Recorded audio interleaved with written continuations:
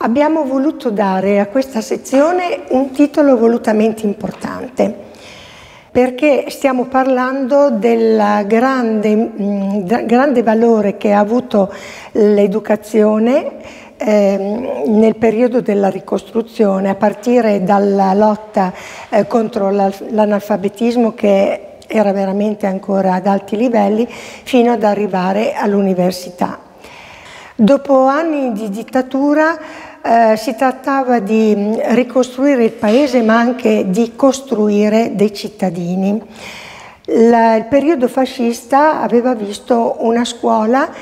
ehm, che per quanto almeno a livello elementare fosse obbligatoria eh, non um, era preoccupata sostanzialmente di eh, formare mh, mm, degli, degli, uomini consapevoli eh, del loro futuro eh, perché era molto selettiva.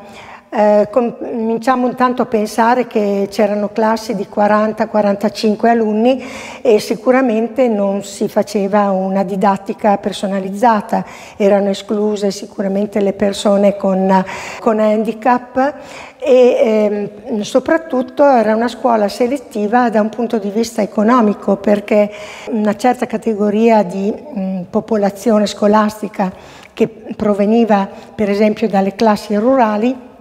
non aveva accesso con facilità, mm, se non per casi particolari di merito, alle scuole superiori e anzi per motivi economici prevalentemente certi ragazzi di mm, famiglia poco agiata o addirittura media, media della media borghesia preferiva indirizzarsi alla scuola mm, dell'avviamento al lavoro e poi andare direttamente a lavorare. Diciamo che i licei erano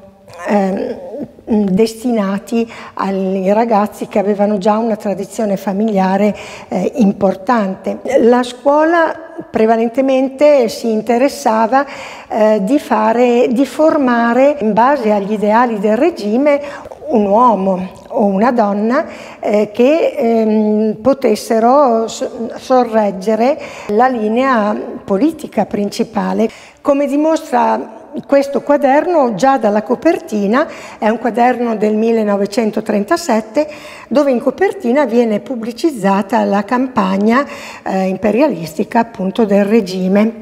E all'interno noi abbiamo addirittura la data del febbraio 1937 quindicesimo secondo dell'impero e il titolo del brano dettato Alba Lilla. La formazione del cittadino che doveva venire eh, con eh, la nascita appunto della Repubblica parte comunque da delle strutture scolastiche che sono eh, ovviamente di eredità, eh, come dimostra eh, questa lavagna che rimarrà per tantissimi anni, direi fino agli anni 70 e oltre nelle classi, segno di resistenza no, della scuola a, anche ai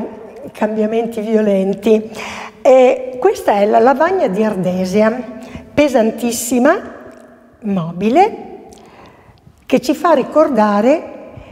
che eh, la famosa frase vai dietro la lavagna era una cosa vera, quando combinavamo qualche guaio o non eravamo pronti per la lezione, ecco, in punizione venivamo messi dietro la lavagna, con grande disonore personale, anche perché poi a casa ci davano il seguito. No?